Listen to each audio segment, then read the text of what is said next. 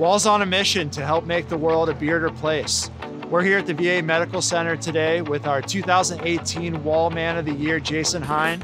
For every trim we do, Wahl will donate $100 to the VA Medical Center, up to $5,000. Being the Wahl Man of the Year is the most recognition that I've gotten from not doing something. With a great beard holds great responsibility, and uh, you should always use your beard powers for a greater good. Uh, I spent eight years in the Navy.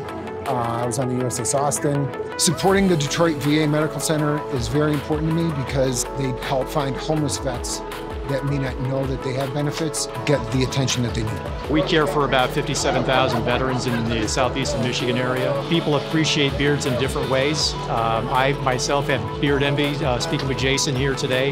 You know, you know how to cure that? All you have to do is like when, like when you're going to like shave it, you just like step away.